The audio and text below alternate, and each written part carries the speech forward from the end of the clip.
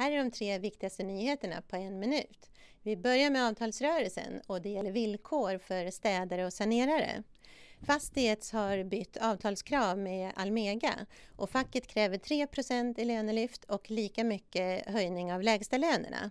Almega kräver att lägstalönerna hålls nere så är det förmånerna för kommunala bostadsbolagen i Göteborg. De anställda där riskerar att bli av med sina förmåner eftersom att politikerna i Alliansen vill ta bort förmånerna. Det här har väckt protester och nu ska frågan utredas ytterligare. Så en nyhet om arbetsmiljö. Det gäller Nyköpingshem där skyddsombudet har anmält arbetsgivarna till Arbetsmiljöverket. Orsaken är att arbetsbelastningen varit hög, rutinerna har varit otydliga. Folk mår jättedåligt och är stressade, säger skyddsombudet till Fastighetsfolket.